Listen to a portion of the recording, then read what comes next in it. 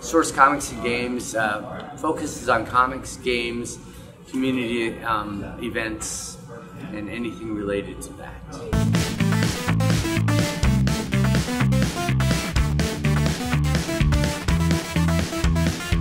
Yeah, I'm Burl Zorn.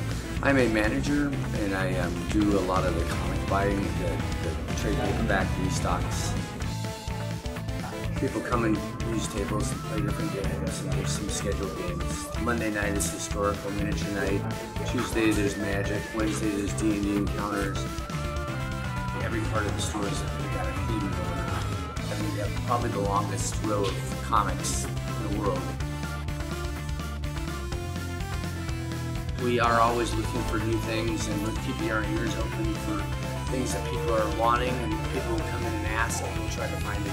And it's a constant look on the internet to see what's going on and make sure that you know we can try to be cutting edge. So I buy a lot of comics every week and try to keep up with what's going on. And there's a lot of exciting things going on in comics.